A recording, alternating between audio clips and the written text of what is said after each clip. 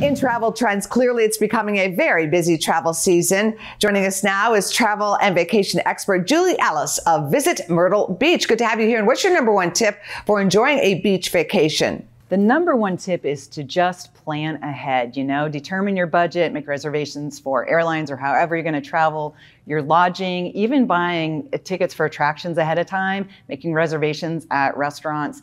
Just a smart way to make sure you've got extra time to just really connect with your friends and loved ones. How is Myrtle Beach helping children with special needs? You know, we are an autism friendly destination. It started in 2016 in Surfside Beach, one of our many beaches.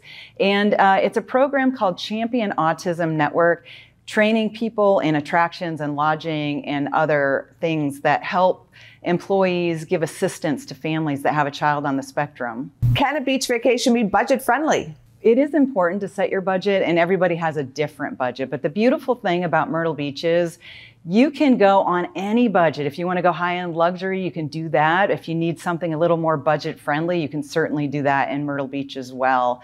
And it's affordable to get there, easy to get there. It's within half a day's drive to half of the US population, if you can believe that. And we have an amazing airport that was named the 2021 Best Small Airport in USA Today's Reader's Choice Awards. 44 nonstop flights that go right to that airport. It's a mile from the beach. So when you get there, you are there. What attractions are in your area? Well, if you go to visitmyrtlebeach.com, you can see the wide range of things there are to do in Myrtle Beach. It just makes it ideal for any group. We've got 60 miles of beach, 90 golf courses, 50 mini golf courses, eight live theaters. We've got eight breweries, even two state parks.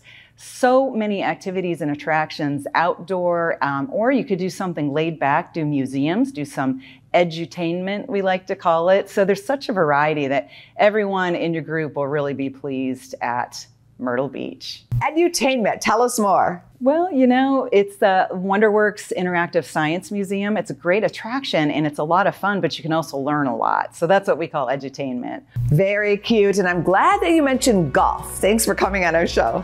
Thank you so much. Go to businessfirstam.com for where to see our show on TV.